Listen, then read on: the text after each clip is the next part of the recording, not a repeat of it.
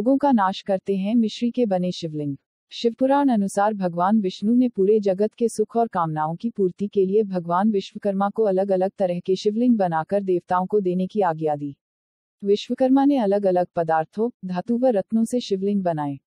जैसे पारद मिश्री जौ, चावल, भस्म, गुड़, फल, फूल, स्वर्ण रजत, बिबर मिट्टी, दही, मक्खन, हीरे, मोती, मणि, मूँगा, नाग पार्थिव, तांबा, इंद्रनील, पुखराज, पद्मराग, पीतल, लहसुनिया, रत्न, चंदन, स्फटिक आदि से शिवलिंग बनाए गए।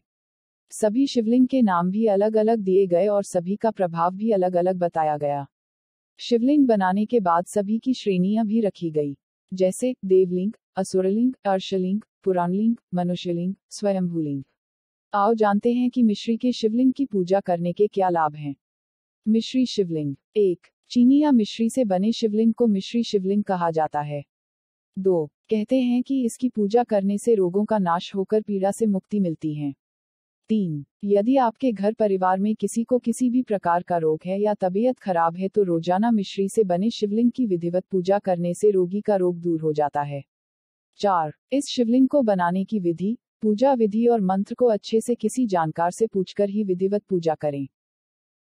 Powered by Arthros Clinic, a dedicated center for arthroscopy and sports injuries.